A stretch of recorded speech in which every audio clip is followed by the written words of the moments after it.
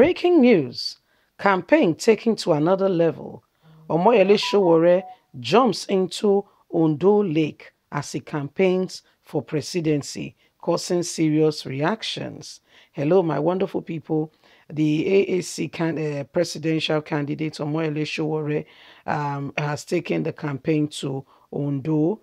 Uh, we'll get into Ondo. The guy um, did not just uh, go around town like other you know aspirants would do, but Omoyele Sowore jumped into the river with those in the riverine area and the water side, saying to every one of them, let's do this together. Yes, we can. Let's bring Nigeria out of our present predicament. Let's save the nation out of what is experiencing today in the, in the hand of the All Progressive Congress.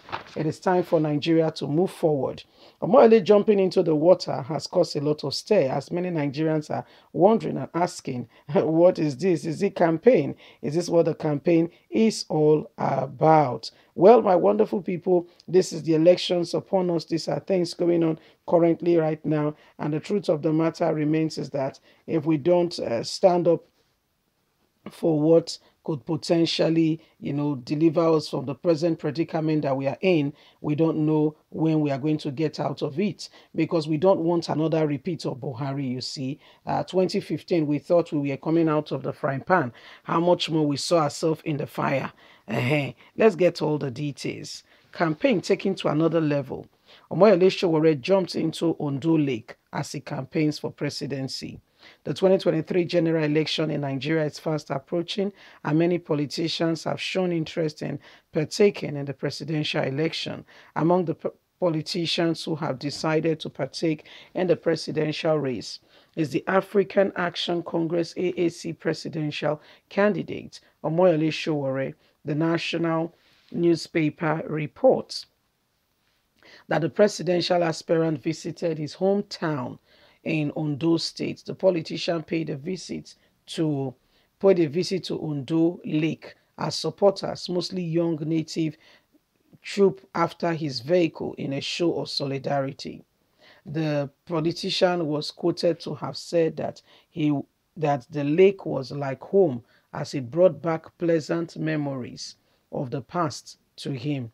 He entered into the lake together with some of his supporters as they played together. Sowore emphasized the importance of tourism to the country, saying almost every aspect and area of this country have what they can use to bring about new direction and decision to this country, especially in the area of tourism that could become a real source of wealth and income for this nation. He said these areas and these people, all that they can bring in, you don't need to get even more jobs. This, our, our very own natural resources is enough to start with, bringing tourism to these areas, saying the lake would have received visitors by now if he was the president. The presidential candidate called upon the people to give him the support he needs so that he can move Nigeria forward. He mentioned places like Henry Ejesha and many other sites in Nigeria that could potentially be tourist attraction and bring in more possibilities of wealth creation, job creation, and in turn better the economy and the nation. However, these very things have been neglected by visionless leaders who have no opportunity to deliver Nigeria. Since he came in, there have been serious unemployment, the economy has dried up, and many more. Nigeria is currently in debt because of the choice of the leaders we made. We must make better decisions moving forward, says Omoyele Sowore. So my wonderful people, that's Omoyele Sowore who has gone to Ondo State. By the way, he's from Ondo State. Uh, he went there soliciting for votes. And when he got to his people, he began to, you know, talk to the people with regards to how things have been and what, you know, the, how they should support him, you know, and his emphasis was on, you know, the lake. He said, you see, this lake would have been a great site of tourism if he was the president. And so he enjoyed the people to try and give him their undying support. Said, because what we have in Nigeria, I mentioned a place like Henry Jesha, you know, where we have the cold and hot water and are other sites Okay, that's just one he mentioned. There are lots of other sites all across the country that could potentially seriously be tourist attraction centers. You know, but again, if these places are tourist attraction centers, they are beautiful mountain hills areas, the way the whole formation of the stones, the, the gravel, the, the, the road, the whole mapping, the way it goes, these are beautiful sites that could potentially be tourist attraction. But when you have a visionless leader, okay, a visionless leader who have no no no insight, no idea of what to do and how to bring out the people out of poverty. These are some of the things you experience. We have a visionless leader.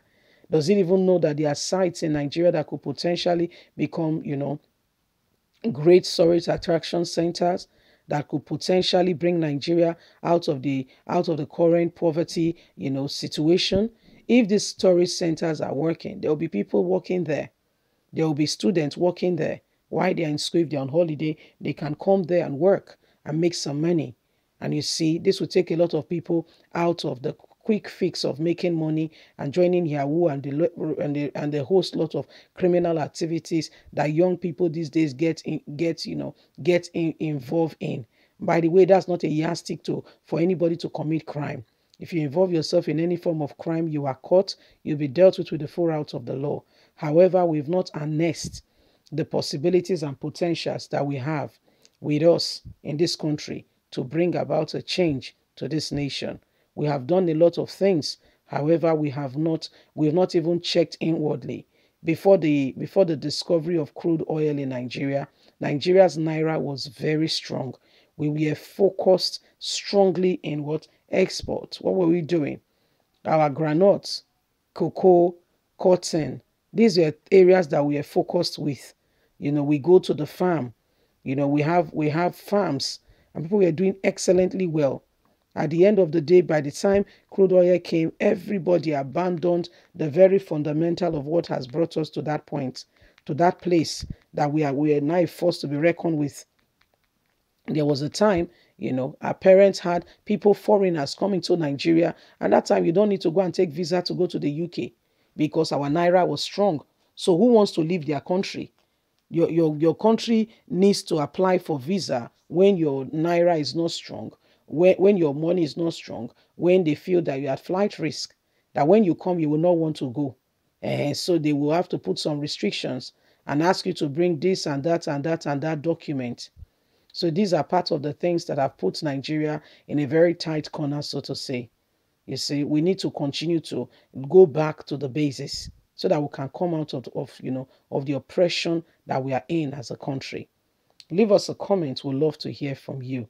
Please don't forget to give us a thumbs up, like us, share, subscribe. God bless. Bye for now.